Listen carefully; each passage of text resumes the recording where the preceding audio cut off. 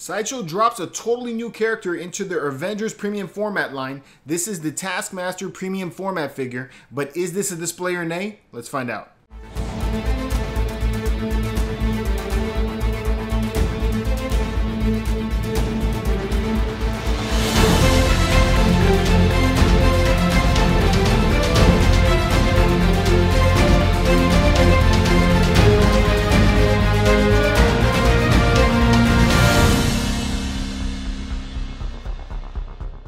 If this is your first time on the channel, please subscribe and turn on notifications so you can stay up to date on all of our collecting content. Now the Taskmaster goes up for sale on Sideshow tomorrow for the exclusive.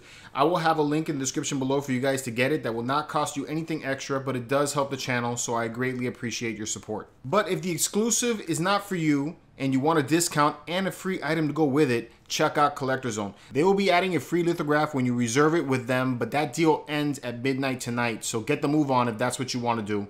And whether you want to reserve it now or order it later, use the code MCE and get a discount on your purchase. Remember, CollectorZown has payment plans and a point system for future purchases, so head over to CollectorZown. Your wallet will thank you for it. So first up, let's give a round of applause to Sideshow for giving us something new and different, something other than Batman and Wolverine and other money grabs.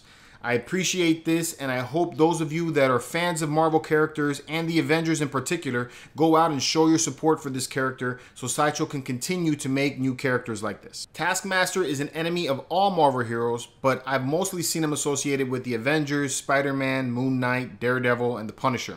So really, even if you're not collecting the Avengers, he fits right in with many of Sideshow's Marvel Hero Premium formats. Let's knock out the technical specs. Taskmaster stands 21 and a half inches tall and 25 inches deep. He is made of polystone with a fabric cape and will run 580 for the collectors and 595 for the exclusive that features a swap out head. Overall size for this one is wide, so it will be difficult to display.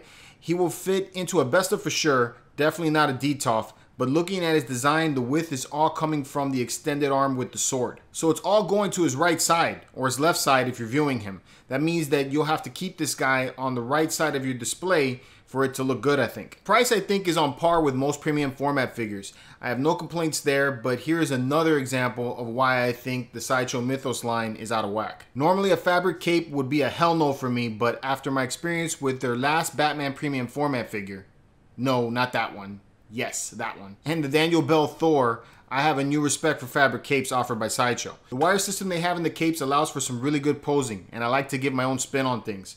Also, it means that after you pose it, no two will be entirely the same. So I'm digging it. The base on this one is really just a pedestal. There's nothing that sets the scene or gives a story to it. It's not really special at all. All that I could say that's good about it is that it certainly doesn't take anything away from the character. So that's cool. Now, the famous and talented Martin Canale laid down the sculpt for this one, and Casey Love again gives us an amazing paint job.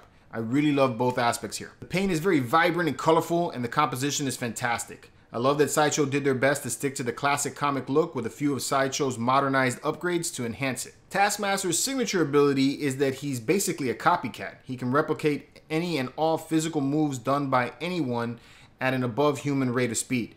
This guy must have been really annoying at get-togethers. Whoa, that's crazy. Man, we've, been spending way too much time together. Okay, stop copying me. So to show that, Sideshow made sure that Taskmaster came with some of his weapons, like his signature shield with the T logo, a bow and quiver similar to Hawkeye's weapon, and a sword similar to the Black Knight. Lastly, the portrait is the classic skull face, just like in the comics. Now, someone in my Knights group on Facebook mentioned that it looks a lot like Skeletor, and now I can't get that out of my head.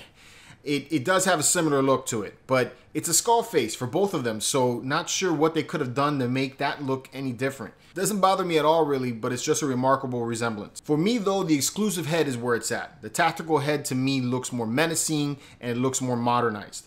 I like the lines on it, the way the teeth look on that one, and I especially like the yellow eyes. The only thing I wish they did was glow or light up. That would push it for me. So is this a display or nay? It's a display all day for me. Sideshow hit the mark with this one. They gave us something new, which we've been asking for. They priced it fairly, and they gave us a cool exclusive option that actually works. Now, if they could only apply this to the Star Wars Mythos line, I could stop bitching at them. As always, guys, these are the opinions of this collector. I welcome you to share yours in the comments below, and I respect your thoughts about them. If you're getting it, please consider using the link that I'll be providing in the description below. This does help the channel and I greatly appreciate it. Or contact CollectorZown if you're getting the regular version and use the code MCE to save yourself some money. Till next time, guys, keep it marvelous.